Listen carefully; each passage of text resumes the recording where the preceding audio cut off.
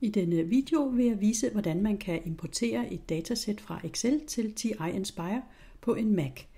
Det er nemlig en lille smule mere besværligt end på en PC. Jeg har nogle data her i Excel, og der er rigtig mange, der kunne jo sagtens være flere hundrede. Dem skal jeg lige starte med at markere. Jeg kan gøre det ved at klikke i den første celle, og så holde Shift nede og klikke i den sidste celle, så er de markeret. Øhm, men hvis der nu er flere hundrede, så er det besværligt at komme ned til sidste celle, så jeg kan også bare markere hele søjlen ved at klikke heroppe i, i A. Så er de markeret, og så skal jeg allerførst have lavet, have formateret tallene, så de er tal. Så jeg går op i formater, celler, tal, OK. Sådan, så er de tal.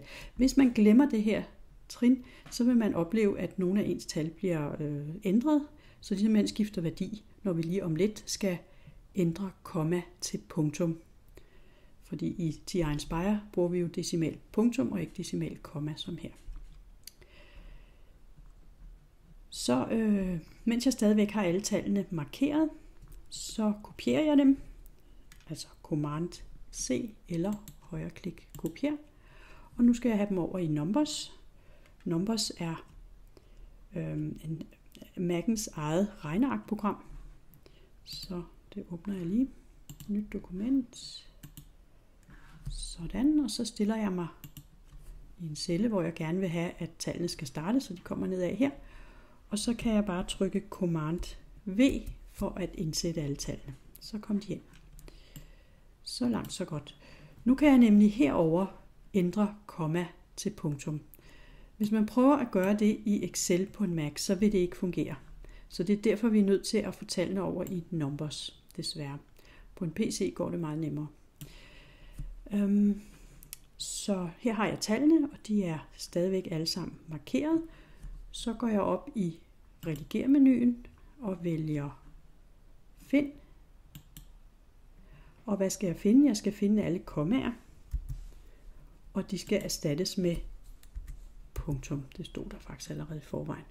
Og nu kan jeg se, der er faktisk markeret en masse kommaer her, og de skal alle sammen erstattes. Sådan.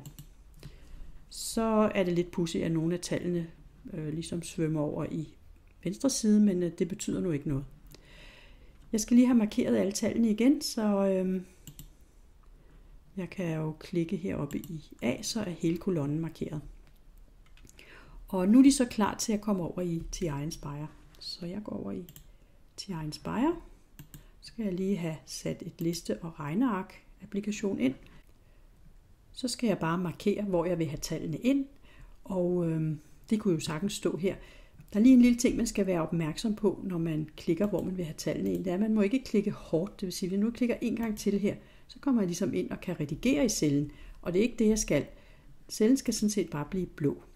Så lad os sige, at jeg vil have tallene ind her. Så kan jeg bare trykke Command V, og så kommer de ind. Og så er vi sådan set færdige. Så for lige at rekapitulere, så det vi skal, det er altså over i Excel, skal man lige markere de tal, man vil have kopieret ind. Så skal man formatere dem til tal. Så skal man kopiere dem alle sammen. Og så over i Numbers og indsætte tallene. Og så skal man der øh, finde alle kommaerne og erstatte med punktummer.